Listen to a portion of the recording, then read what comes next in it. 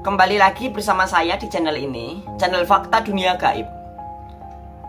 Sebelum masuk ke dalam inti video, wajib bagi kalian buat tekan tombol subscribe, like, dan tekan notifikasi loncengnya supaya kalian mendapatkan ilmu-ilmu atau video-video terbaru dari channel ini. Kali ini saya ingin membahas tentang kuasa kegelapan dan kuasa terang yang ada di dalam teologi kekristenan dan teori Jawa apa itu kuasa kegelapan dan apa itu kuasa terang. Kita bahas terlebih dahulu menggunakan teori Jawa. Di dalam teori Jawa, kata kuasa, kegelapan dan kuasa terang itu tidak terlalu dibedakan. Dalam teori Jawa, gelap dan terang itu tidak ada yang membuat gelap dan terang adalah tujuan kuasa itu dikeluarkan. Tujuan kuasa itu digunakan. Bila mana kuasa itu digunakan untuk kebaikan, maka itu adalah kuasa terang.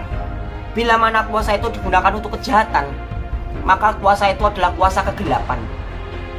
Jadi yang membedakan antara terang dan gelap adalah tujuan dikeluarkannya, tujuan dilakukan kuasa itu.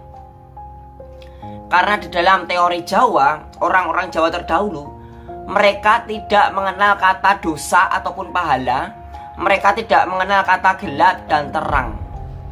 Yang mereka ketahui adalah baik dan buruk. Kalau kuasa itu digunakan untuk kebaikan, maka itu kuasa terang. Dan bila mana kuasa itu digunakan untuk keburukan, maka itu adalah kuasa kegelapan. Jadi yang membuat perbedaan antara terang dan gelap di pemahaman Jawa itu adalah niat niatnya atau tujuannya untuk kebaikan atau untuk kejahatan. Sedangkan di dalam teologi kekristenan, kuasa kegelapan dan kuasa terang itu sangat nyata adanya. Di mana kuasa kegelapan dan kuasa terang ini dibedakan terutama melalui sumbernya. Melalui ke, inti kekuatan itu dari mana? Sumber kekuatan itu dari mana? Kuasa kegelapan di dalam kekristenan diketahui bahwa kuasa kegelapan bersumber dari si iblis. Di mana si iblis ini bisa bisa seakan-akan berubah seperti malaikat penolong. Bisa seakan-akan berubah seperti malaikat yang baik. Seakan-akan berubah menjadi sosok yang indah. Yang beautiful. Sedangkan kuasa terang itu bersarang atau bersumber dari tiga yaitu Tritunggal dari Allah Bapa, Allah Putra ataupun Allah Roh Kudus. Segala kuasa yang berasal dari tiga sumber itu, Allah Bapa, Allah Putra dan Allah Roh Kudus, itu namanya kuasa terang. Dan pasti digunakan untuk kebaikan.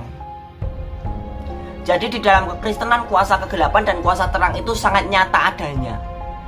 Berdasarkan sumber utama kuasa itu sendiri apakah kuasa itu bersumber dari iblis atau kuasa itu bersumber dari Tritunggal. Jadi di dalam kekristenan gelap dan terang sangat nyata adanya.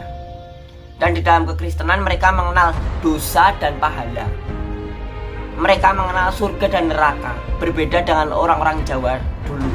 Mereka tidak mengenal kata dosa dan pahala, tidak mengenal kata surga dan neraka Itulah perbedaan orang-orang Jawa terdahulu teori Jawa dan orang-orang kekristenan.